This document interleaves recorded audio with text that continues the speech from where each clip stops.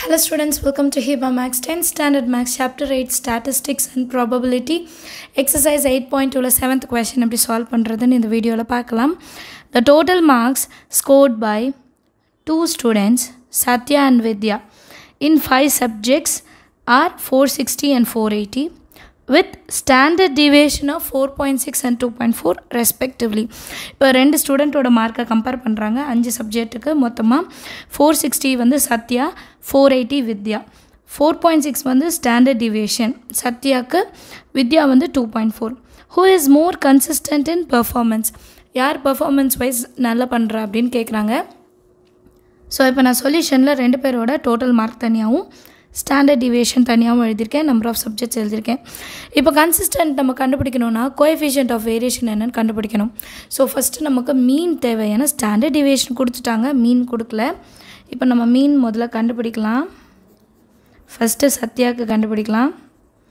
சத்யாவோட mean எப்படி கண்டுபிடிக்கிறதுனா total mark divided by subject five nines are forty five balance one five twos are ten so ninety two வந்து சத்யாவோடது.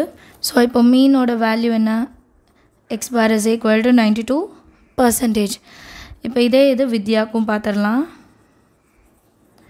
வித்யாவோட mark four eighty divided by five nine five are forty five balance three thirty so nine six are thirty ninety six percentage வந்து வித்யா மீனோட value இப்போது coefficient of variation கண்டுபிடிக்கலாம். Variation first Sathya சத்யாவோடது எடுத்துக்கலாம்.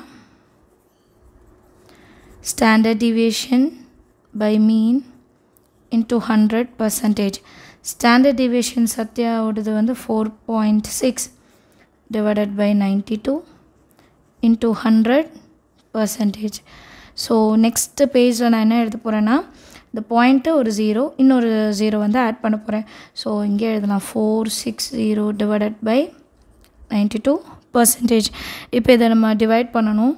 But இதை பாருங்கள் ninety two into five பண்ணலாம். Five two are ten balance one nine five are forty five plus one forty six direct so five percentage வந்து சத்யாவோடது. சரிங்களா? இதே மாதிரி வித்யாவுக்கு கண்டுபிடிக்கணும். நெக்ஸ்ட்டு வந்து வித்யா.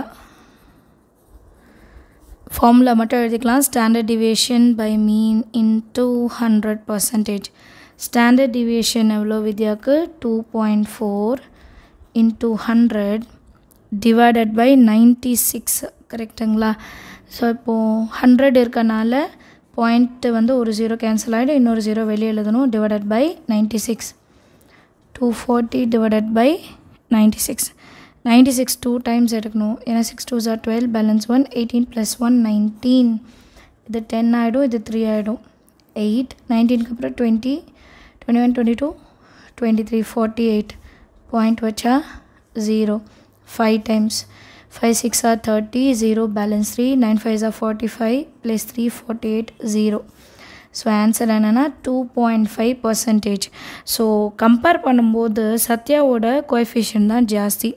so coefficient of